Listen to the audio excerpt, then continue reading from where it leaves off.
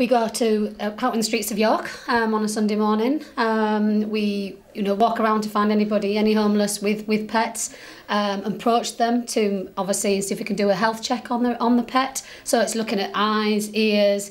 Um, see if they've been vaccinated, fleed and wormed, which is really, really important, and see if they've got any other illnesses or anything else we can help them with. So they get a full um, clinical examination by the vet.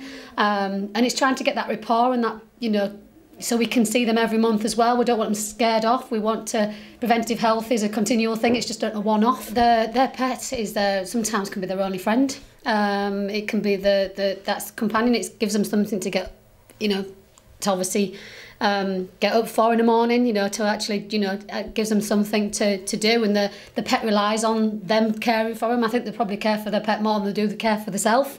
Um, you know, if they only had one meal, they'll probably give it to, to, to the, the pet.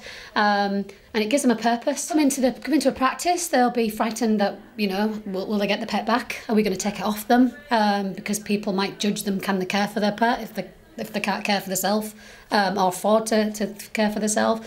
So it's more of um, being frightened, really, I think. Um, not that they don't want the pet to be treated and have the best care, that isn't the case at all. It's more of a fear. So they're trying to get um, street paws throughout the country, um, which is, you know, it's a great target to work towards because, you know, there's homeless people. Um, is homeless people have risen over the years, um, and obviously, you know, some people can't get any rent anywhere or actually get anywhere with pets sometimes, so they have no other choice but actually to stay on the street. Um, so I think that's the ultimate goal, really, to make sure that every animal deserves, um, you know, at least preventative or some treatment. It is doing fundraisers, is doing anything that we can. Um, you know, we you know, we're obviously looking at doing an open day this year. Um, obviously, there'll be stuff where we can try to come up with some ideas to fundraise. I know that they actually, uh, Street Paws did some Christmas packages at Christmas.